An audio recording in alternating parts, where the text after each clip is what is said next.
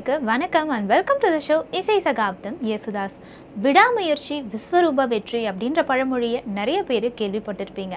ஆனால் நிறைய பிரபலங்களுடைய வாழ்க்கையை நம்ம ஆராய்ஞ்சு பார்க்கும்போது இந்த பழமொழி எவ்வளோ உண்மையானது அப்படின்றது நமக்கு தெரிய வரும். உதாரணத்துக்கு இப்போ நான் சொல்ல போல இந்த பிரபலம் வந்து பின்னாட்களில் எழுபதாயிரத்துக்கும் மேலே பாடல்களை பாடியிருக்காரு. ஆனால் தன்னுடைய ஆரம்பகால இசை பயணத்தில் அவர் ஒரு திரைப்படத்திற்கு ஒரு பாடல் மட்டுமே பாடியிருக்காரு.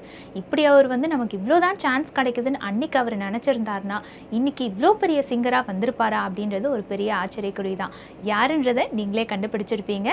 மாபெரும் இசை மேதை கேஜே யேசுதாஸ் அவரை பற்றி தான் இன்னைக்கும் நிறைய சுவாரஸ்யமான விஷயங்கள் பார்க்க போகிறோம் வாங்க நிகழ்ச்சிக்கு போகலாம்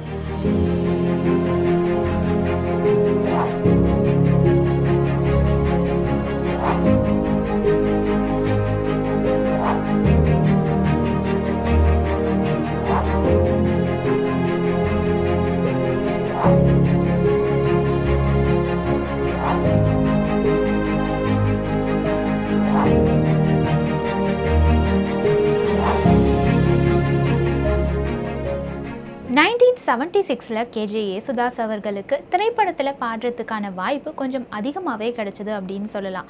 தசாவதாரம் திரைப்படமும் அந்த அபூர்வமான திரைப்படங்களில் ஒன்று இந்த திரைப்படம் நைன்டீன் செவன்டி சிக்ஸில் ரிலீஸ் ஆயிருக்கு. திரைப்படத்தை டைரக்ட் பண்ணியிருக்காரு கே எஸ் கோபாலகிருஷ்ணன் அவர்கள்.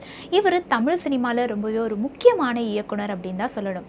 இவருடைய இயக்கத்தில் இந்த திரைப்படத்தில் யாரெல்லாம் நடிச்சிருக்காங்க அப்படின்னு பார்த்தீங்கன்னா Gemini Ganesan Jayachitra K R Vijaya M R Radha Sirkazhi Govindarajan மற்றும் பல நட்சத்திர பட்டாளமே இந்த திரைப்படத்தில் நடிச்சிருக்காங்க.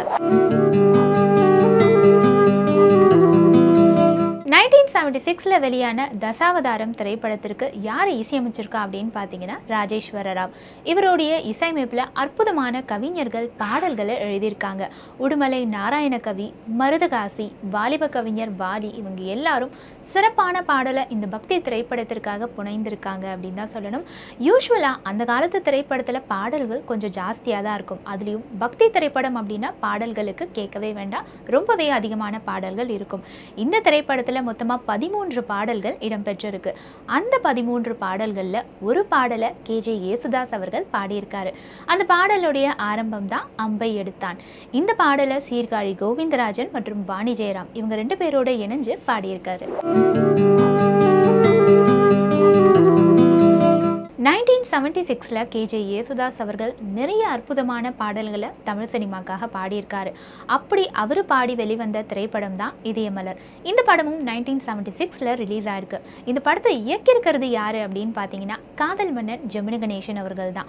அது மட்டும் இல்லாமல் அவர் கூட இன்னொரு ஒரு இயக்குனரும் சேர்ந்து இந்த படத்தை இயக்கியிருக்காரு தாமரை மணாலன் இவங்க ரெண்டு பேரும் இந்த படத்தை இயக்கியிருக்காங்க. இதில் ஒரு சுவாரஸ்யமான விஷயம் என்ன அப்படின்னு பார்த்தீங்கன்னா ஜெமினி கணேசன் அவர்கள் இயக்குனராக அவதாரம் எடுத்த ஒரே திரை திரைப்படம் இந்த திரைப்படம் தான்.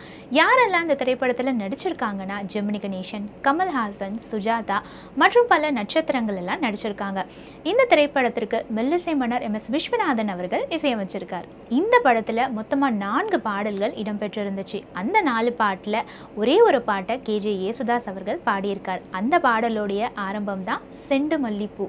இந்த பாடலை யார் கூட சேர்ந்து பாடியிருக்காங்க அப்படின்னு பார்த்தீங்கன்னா பாணி ஜெயராம் அவங்களோட சேர்ந்து ரொம்ப அற்புதமாக கேட்கறதுக்கு இனிமையாக இந்த பாடலை பாடியிருக்காரு கே ஜே யேசுதாஸ் அவர்கள்.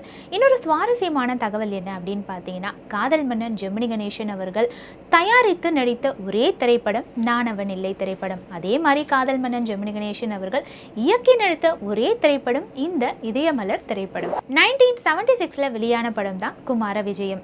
இந்த படத்தை டைரக்ட் பண்ணியிருக்காரு ஏ. ஜெகநாதன். இவருடைய இயக்கத்தில் யாரெல்லாம் நடிச்சிருக்காங்க அப்படின்னு பார்த்தீங்கன்னா Kamal Haasan Jayachitra M. G. Soman இவர் ஒரு சிறந்த மலையாள நடிகர் மற்றும் பல நட்சத்திரங்கள் இந்த திரைப்படத்தில் நடிச்சிருக்காங்க.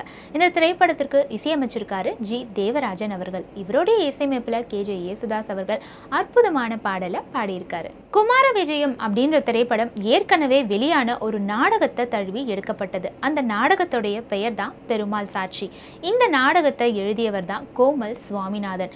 ஏற்கனவே இந்த நாடகத்தை மலையாளத்திலையும் படமாக எடுத்திருக்காங்க. அதுக்கப்புறம் தமிழ்லையும் இதே நாடகத்தை படமாக எடுத்திருக்காங்க. குமார விஜயம் திரைப்படத்தில் பாடல்களை யார் யார் எழுதியிருக்காங்க அப்படின்னு பார்த்தீங்கன்னா புலமை பித்தன் பூவை செங்குட்டவன் கவியரசர் கண்ணதாசன் இவங்கெல்லாம் அற்புதமான பாடல்களை எழுதியிருக்காங்க. அது மட்டும் இல்லாமல் கேஜே யேசுதாஸ் அவர்கள் இந்த திரைப்படத்திற்காக இரண்டு அற்புதமான பாடல்களை பாடியிருக்காரு. இந்த ரெண்டு பாட்டையுமே இசையரசி பி. சுசீலா அவங்களோட இணைஞ்சு தான் பாடியிருக்காரு.